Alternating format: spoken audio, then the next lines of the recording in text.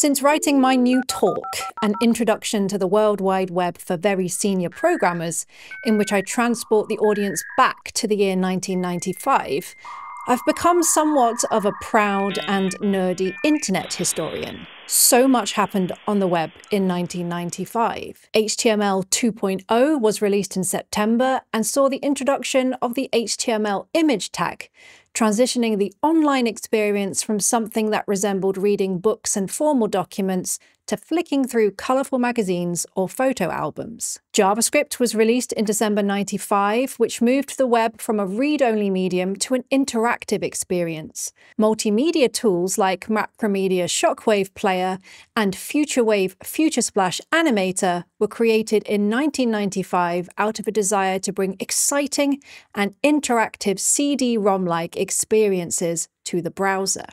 While the end user experience was evolving, new tools to support web developers who were building websites were also being invented. The World Wide Web Consortium, or W3C, was formed in 1995, and whilst the first version of CSS was not released until 1996, the 1994 proposal for cascading HTML style sheets was being developed by the W3C.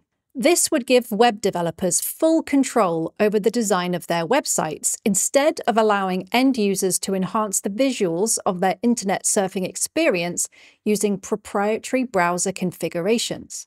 And whilst the web was becoming more visual, so were the tools used to build websites.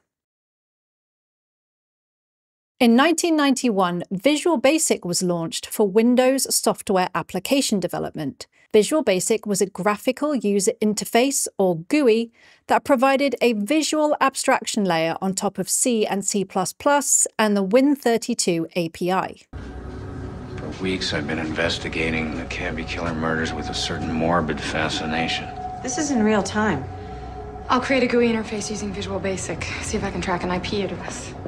Ryan Lucas describes this historical release in detail in The History and Legacy of Visual Basic, and pays particular attention to how it saved the careers of millions of mainframe COBOL programmers who were looking with terror at the microcomputer invasion, as recalled by the creator of Visual Basic, Alan Cooper. To design their UI, developers can drag and drop out components onto a WYSIWYG canvas. To add behavior to a UI element, they could simply select it and choose a click event handler from a dropdown. Mainframe programmers were suddenly empowered to quickly get up to speed writing Windows apps.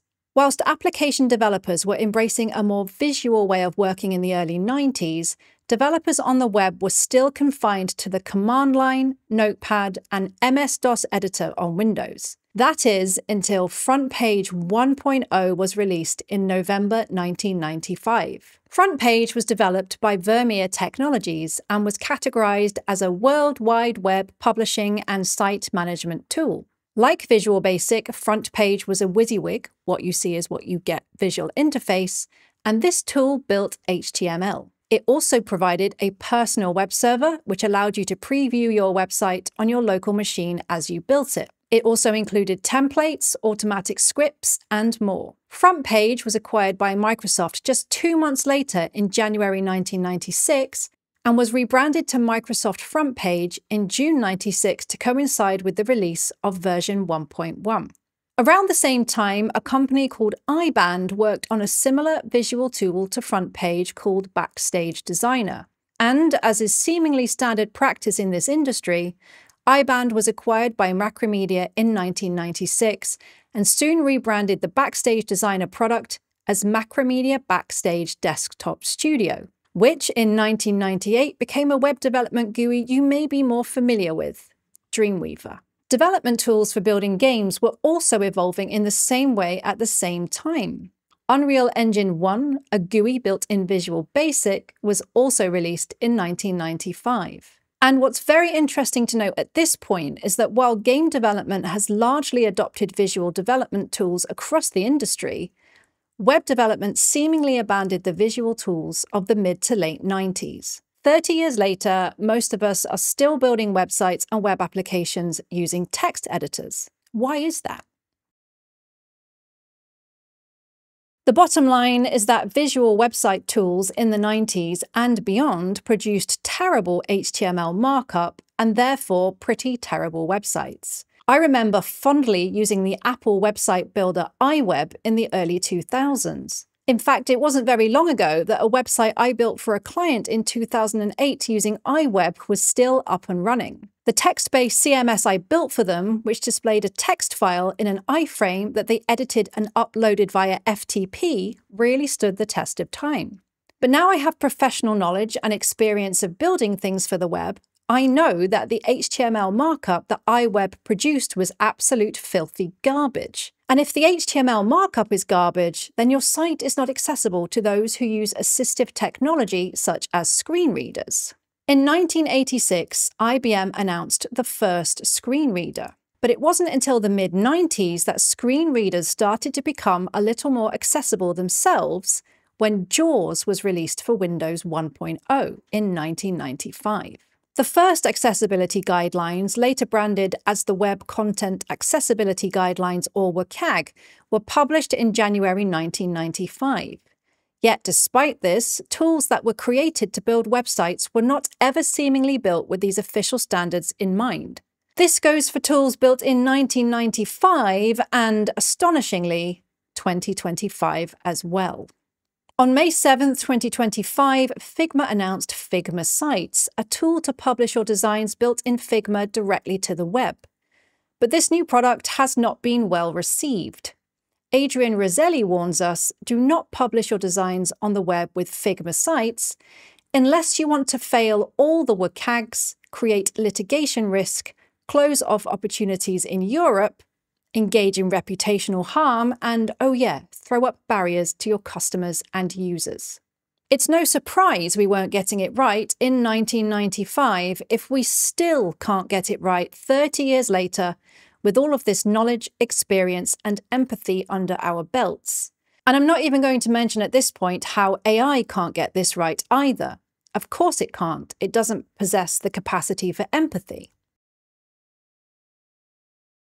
Developers want complete control over their HTML, CSS, and JavaScript, and rightly so. If visual web development tools can't generate clean and semantic HTML, organized and debuggable CSS, or performant JavaScript, it really is a no brainer to continue to build websites and web applications using text based web frameworks or rolling your own.